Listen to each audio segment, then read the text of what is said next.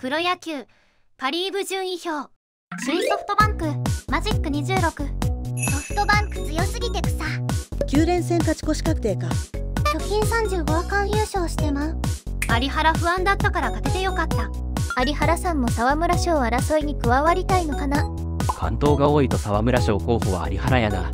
山川やっぱり長打力は一流やったんやな。山川オールスター後は19試合で13本塁打今のところ柳町と正木がレギュラー掴んだな。柳町がほんまにすごいわ。柳町ここに来てまだ成長するとか。柳町は引っ張ってホームランができるようになってる。これも栗原と柿下が復帰しても回で頑張ってもらうしかないな。栗原は復帰したら6番か7番か。次の先発はスチュワート VS カイケル。まさかカイケルを日本で見れるとはね。今日はスチュワートに援護ないの濃厚じゃないか。初物左腕カイケルは当てなさそうやないい日本ハムゲーム差12ハム好調なだけに気を引き締めてほしいところ。いい狙いなんか言ってたら4人になりそう。大型連敗で A クラスも怪しくなるしな。北山がなんだかんだ試合作れるのが分かったのはポジレル北山は病み上がりとしてはまずまずやったわ。川野打たれて負けたんか。川野はもう夏バテしとるな。川野は球威も制球もいい時からだいぶ落ちてる。ハム打線に工夫が足りなかった。浅間丸ではきつい浅間もこれじゃ水谷でいい水谷はスタメン固定でいいな。清宮がロッテ戦から全く打てなくなってる。清宮はもう少し休んだ方がいい。清宮の絶好調は終了しちゃったのかな。清宮は明らかに調子落としてるな。清宮3番でレイス4番でいいな。万波がっつりスピリチュアルにはまってそうだけど大丈夫なのか。万波がスピリチュアルの方向に走ってるのくさ。次の先発はバーヘイゲン VS 宮城宮城今年はそこまで良くないから案外打てるかもしれん。バーさんが主表よりも全然抑えられない可能性はある。3位ロッテゲーム差1ロッテずるずる落ちそう。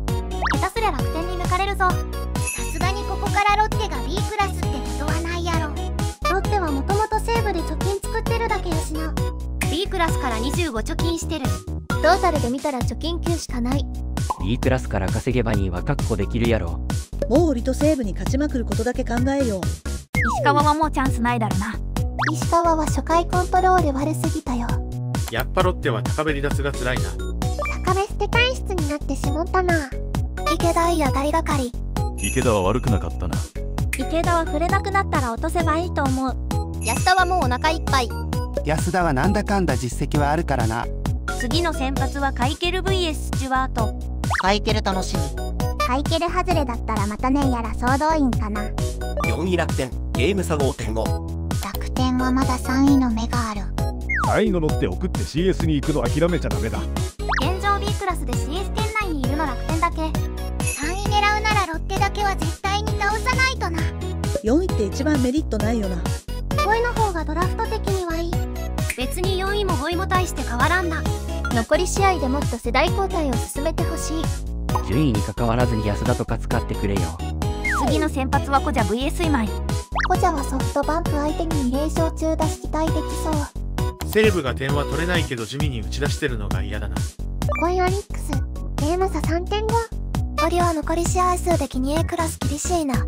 オリックスはボロボロの中なんやかんや借金一桁まで戻してきたのすごい。地味に佐伯が試合作ったわ。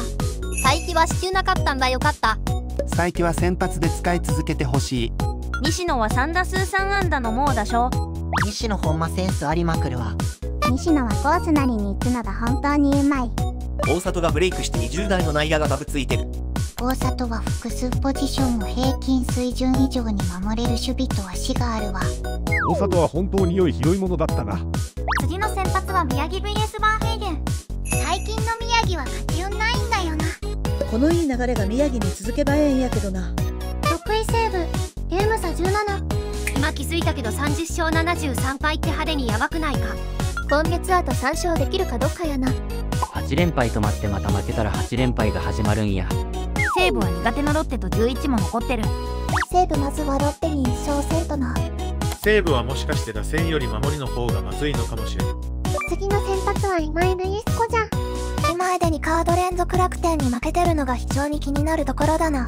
今井の今年の4勝すべて楽天から出し今日こそ抑えてくれるだろう。ご視聴ありがとうございました。話題の野球情報をお届けしていますのでチャンネル登録をよろしくお願いします